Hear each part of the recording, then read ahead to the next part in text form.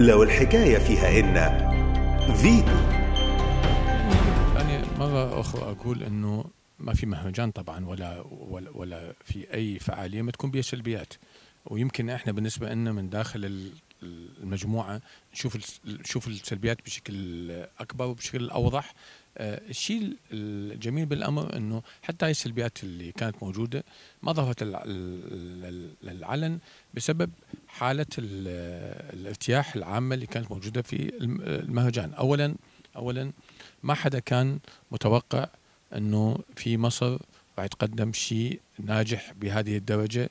آه، فهذا ساعد في أنه الناس آه، آه، يكون يعني هناك يجدون ضالتهم في هذا في هذا المهرجان الشيء الثاني آه، في الحقيقة كثير من الأشياء تحققت آه، حتى على مستوى المفاجأة بالنسبة لنا بشكل إيجابي كبير. يعني يعني مثلا إحنا آه، ما كنا نتوقع أنه يكون هذا العدد الكبير من الحضور على اعتبار أنه آه، أنه في الدورة الأولى والثانية والثالثة أنت تبني بالجمهور مالتك وأيضا كون أنه أنت تعمل هذا المهرجان في منطقة هي نفوسها تقريبا 12000 نسمة، يعني أنت مو تتحدث عن القاهرة اللي بها 20 مليون نسمة آه، متواجدين آه، على الأقل في صباح ال- القاهرة.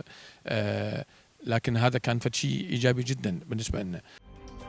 فيتو